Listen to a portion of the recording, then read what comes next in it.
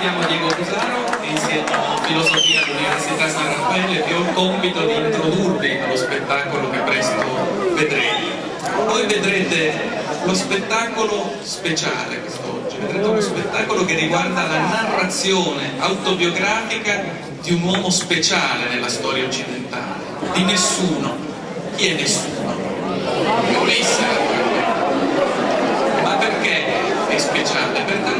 Motivi, intanto perché voi siete abituati quando pensate a Ulisse a pensare ai poemi di Omero che raccontano di Ulisse dalla prospettiva del narratore, narro le vicende di Ulisse, ma è poi la prospettiva tipica di chi racconta le vicende altrui. Oggi invece vedrete Ulisse che si racconta, che racconta la propria vicenda vissuta, la propria storia.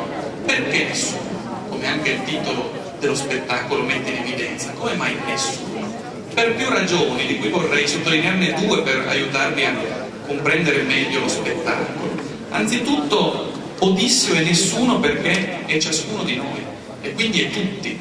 Ciascuno di noi vedendo la rappresentazione, vedendo ciò che Odisseo racconta del proprio passato, può immedesimarsi.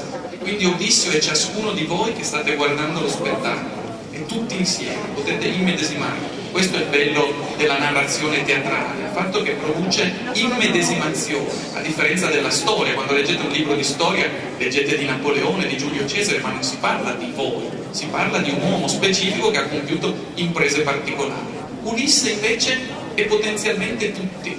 Ciascuno di voi può essere quell'uomo, è un personaggio, potremmo dire, in senso proprio. Ma poi c'è un altro motivo per cui Odisseo è nessuno e nessuno. Se ci pensate, come ricorderete molto bene, Odisseo per tutta la narrazione del poema omerico continuamente si camuffa, nega la propria identità, non solo nell'episodio che ben conoscete con il ciclope. Chi è che mi ha accecato? Nessuno. Ma poi ci sono tutta un'altra serie ricchissima di episodi in cui Odisseo nega la propria identità.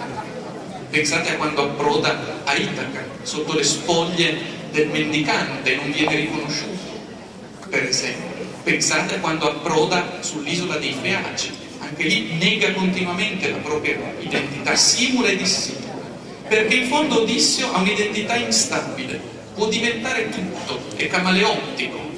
Sappiamo che Odisseo, fin dal primo, dal primo verso del secondo poema omerico, l'Odissea viene chiamato in greco polytropos, che vuol dire dei molti modi, multiforme non ha un'identità fissa, è instabile strutturalmente.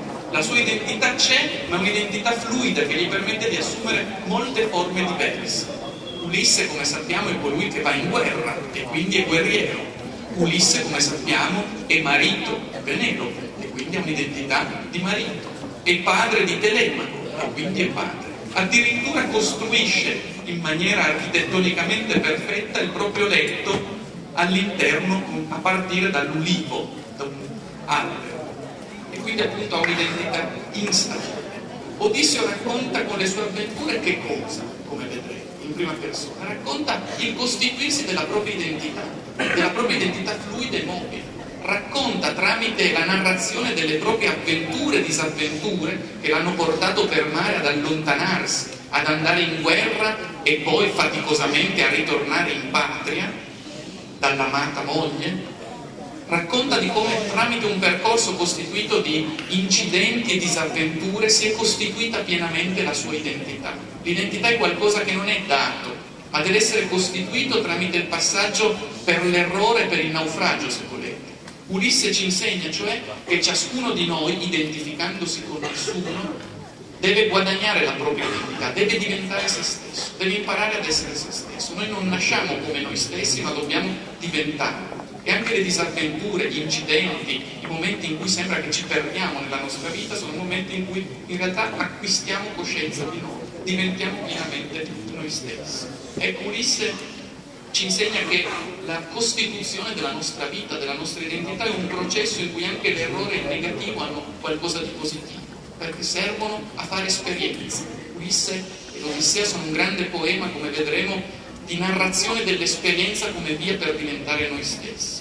Ulisse è un padre che ritorna in patria, ci insegna in qualche modo l'importanza della legge e della giusta misura. Voi sapete che quando torna a Itaca trova Itaca occupata, invasa dai proci, alla lunga notte dei proci, che gozzovigliano senza alcun rispetto per le leggi della casa, senza alcun rispetto per uomini e donne. E Ulisse torna a portare la legge. Ecco l'immagine fondamentale del padre come gesto simbolico che impone la legge contro la dismisura. Questo è molto importante, un tema ricorrente. Telemaco dice, mentre aspetta il ritorno di Ulisse, più di ogni cosa desidererei il ritorno del padre.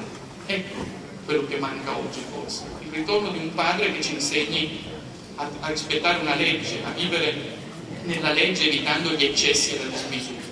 Quindi questa è una grande narrazione che ci parla ancora oggi, ancora oggi parla all'uomo contemporaneo, non smette mai di parlare non solo perché come si dice è un classico, ma per il fatto che Odisseo siamo noi e nessuno siamo noi.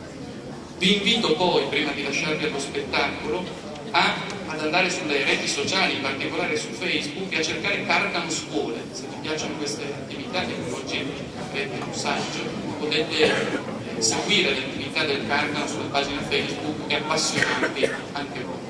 Buona vita.